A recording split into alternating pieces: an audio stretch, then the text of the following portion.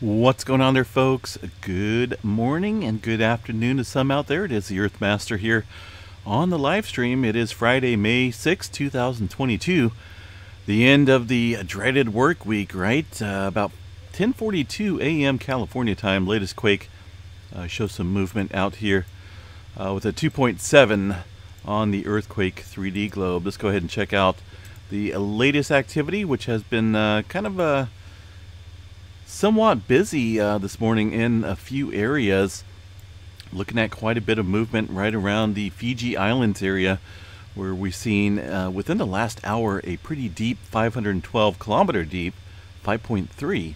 Now, this area has seen quite a bit of tremendous deep movement here uh, in the course of not only the past couple days, but over the last week or so. And uh, we still haven't seen any subsequent large scale movement down here to the south uh, where we would expect pressure to be building quite nicely. Uh, and it's not, uh, we haven't seen that release, so I'm getting a little concerned here that we could be seeing something much larger uh, in this area of the Kermadec Trench southward to the New Zealand. Uh, we've also noticed a, a, little bit of heightened movement around the Vanuatu area uh, with um, a couple earthquakes here around the Port Vila area. Looks like a couple fours and a couple fives in that mix of some movement throughout the last 24 hours. a little quiet zone here through Papua New Guinea and the Indonesia area currently, uh, but uh, still some movement and aftershock sequences here around the Philippine Trench area south here of uh, the Philippines. This area, of course, has seen uh, well, they've seen that six pointer here just a short day ago or so, right in the yellow circle, 6.0. But prior to that, uh, if you look back in the last 30 days, uh, of 4.5 and above. This region uh, specifically has seen quite a bit, uh, quite a number of uh, earthquakes, fives, fours, and even uh, think about three sixes in that mix. Had a 6.0 yesterday, and then uh, 6.0 on the 20th right here of April. And then if we go back a little bit further, we had the 6.1 on the 19th right here. So three sixes in that mix and a whole bunch of fives uh, still popping there with some aftershock sequences in that area of the Philippine Trench. uh, let's see, Mariana Islands area uh, getting a uh, 5.3. Uh, this one occurring uh, yesterday. Looks like an older earthquake, but still within that 24 hour time period. And some movement also up here around the East China Sea um, that one as well, a little bit on the older side. Uh, Kuril Kamchatka Trench, a Japan Trench, eh, has gone quiet. I mean, look at that. Nothing. Zip zero going on up here along this area of the Pacific Plate. And over here along the Aleutian Trench, a little spotty. A little bit of activity out here around the Aleutian Islands. And uh, looks like around some of the volcanoes there in that region. Uh, up here into the mainland, a little activity up around Denali and into the Anchorage area uh, with some deeper movement occurring up there. 126 kilometers for that 1.4 uh, just outside of the uh, Denali region. West Coast still kind of looks on the quiet side. Uh, I know we got some activity occurring, but uh, we kind of follow these trends here when it's pretty active on this area of the Pacific Plate uh, things tend to tend to uh, calm down here. We do notice a little trend in lack of activity in that aspect. Goodness. And uh, let's go ahead and check out the states here real quick, uh, see what we got. A little bit of movement around the Ridgecrest area, but then again, like I mentioned, there's not a whole lot up here through the eastern part of the Sierra Nevada. Uh, same for the central part of California one earthquake here on the Parkfield section of the San Andreas Fault. And as we look down into the Southern California region, not a whole lot here, but we did notice a little movement off the coast into the Santa Barbara Channel. Uh, there's some fault systems that do run out here. A couple segments of them. Uh, looks like Santa Rosa Island Fault. Uh, I'm not for sure specifically which fault system this struck on, but looking at the depth of these earthquakes, they are very shallow here in this area. Um, trying to see which one could be the culprit here for the faults, but uh, something to watch there with the shallow movement. And again, just off the coast of the Santa Barbara, California area. Uh, into the inland area of Texas, uh, getting some further activity around the Pecos, Texas area. A couple twos kicking off there this morning, and also some activity inland here into the Oklahoma region. Looks like north of Stillwater and uh, around the Chickasha area, 1.4. Excuse me. In that area of Oklahoma, New Madrid zone pretty quiet. Eastern part of the country quiet as well into the Middle America Trench here off the coast of Guatemala and the Mexico area. Uh, getting some further development here, but this one's pretty shallow. Uh, 10 kilometers, not really deep into the trench area. It's kind of more into the, uh, right around the uh, subduction um, boundary where the, uh, the plates here uh, begin to subduct.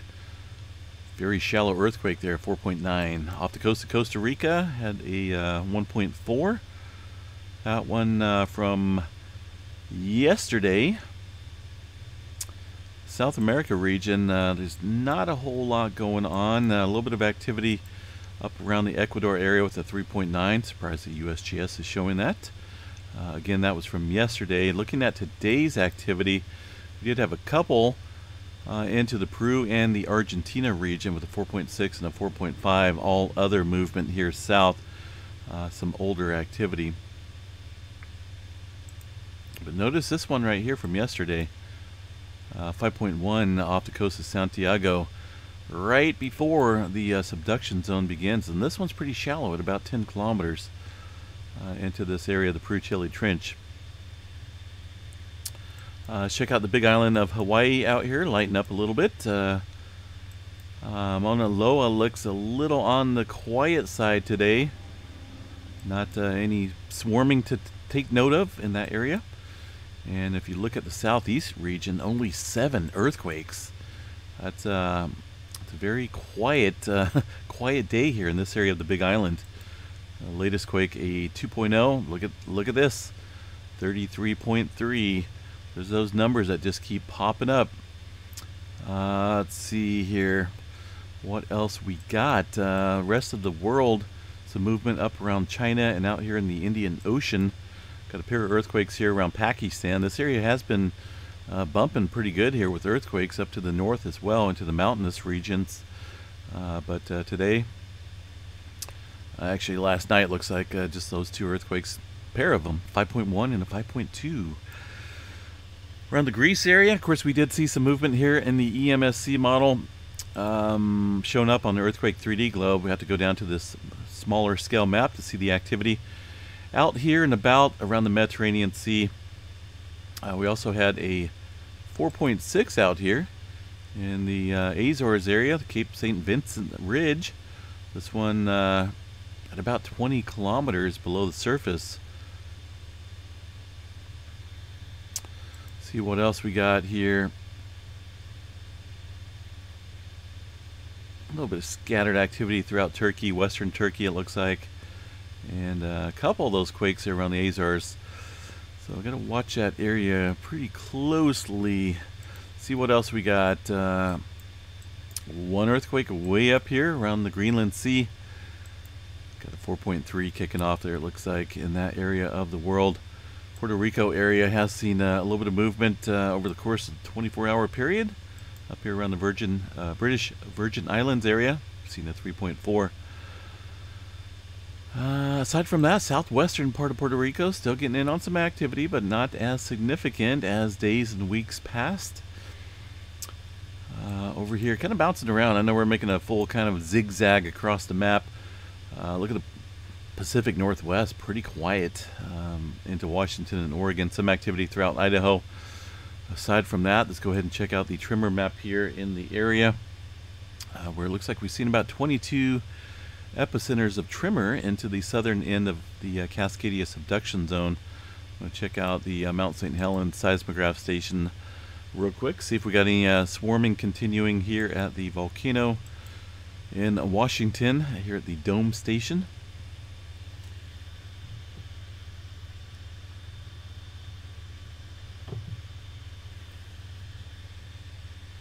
And uh, yeah, a little bit, little bit of activity once again. Looks like some small microquakes, uh, nothing significant.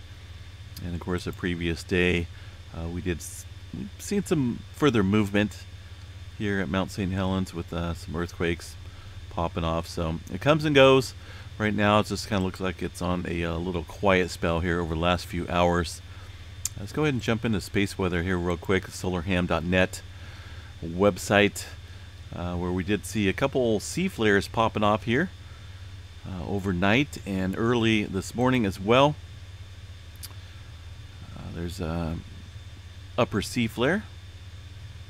There's the M flares from uh, yesterday. We haven't seen any further M flares since then. Looks like the uh, largest was a C 4.8. So far, the uh, culprits on these sunspots, at least these flares, are uh, kind of kicking off here from 3004. That's uh, about the only major significant one that uh, kind of watching right now for some further flaring. 3006 over here, as massive as it is, it's not really super dynamic. And uh, on the sunspot map here, it's not even super distinct. 3004, I believe, is the main player at the moment right now in the possibilities of these flares kicking off. Looks like a 20% chance still being listed from uh, this site here as far as the X flare potential goes here from 3004. So we will watch this uh, throughout the day today. This article here was put out this morning, it looks like. Uh, 3004 did show some signs of decay within the trailing section of the group, but will remain a threat for an isolated moderate M flare uh, a major X-class solar flare is less likely but cannot be rolled out. Of course, we've kind of been watching that throughout the year, right? Kind of wants to just do what it wants to here on the sun. So uh, any type of geomagnetic forecast looks green across the board for now. We'll definitely see how that uh, pops up here in the coming days, folks. So uh, Yellowstone National Park, I know there's not a whole lot going on. It's just been uh, quiet there as well. Like I say, swarms come and go here as whenever they feel like it. Uh, but more specifically, it seems like swarms kick up here when uh, activity generally comes to uh, a uh, the region here. Hold on, let me show you guys. Generally seems to pick up a lot when we notice a lot of earthquake activity into the western part of the North American plate. But um, like I say, there's not a whole lot kicking off here in California or or Washington or Oregon for that matter. So um, things just kind of calm across the center part of the states.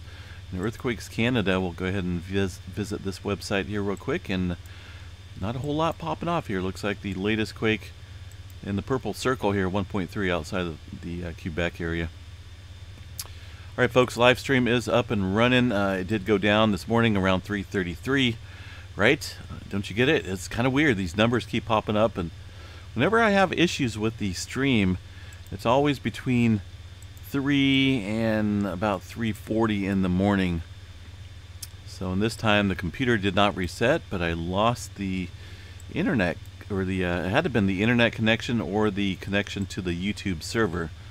And um, still haven't put my finger on it, but uh, we'll, we'll, get to the bottom of it, right? Eventually. But uh, sometimes, you know, I'm not up at 3 in the morning, so it takes me a couple hours to uh, get the stream up and running if it does go down that early in the morning. So, but we're back, we're up, and uh, if it goes down again, we'll come right back up. If it goes down a hundred times today, we'll bring it right back up. So, uh, the only thing it does is uh, obviously keeps me busy, and it looks like whoever's up to it, whoever the culprit is, is having fun doing it. All right, guys, have a good day. We will chat to you a little bit later on, and we'll be watching the uh, solar weather activity throughout the day. And, uh, of course, provide updates as needed. Uh, don't forget to, uh, if you do use Twitter, make sure you go over to the Earthmaster page at, uh, uh, you'll find us. Just do a search for the Earthmaster. I believe the link is Real Earthmaster on Twitter. And you can also follow us on the Facebook uh, social media page. So go over there and check out the Earth Master as well. Make sure you give us a like while you're on that uh, page. Take care, guys. We will chat you a little bit later tonight.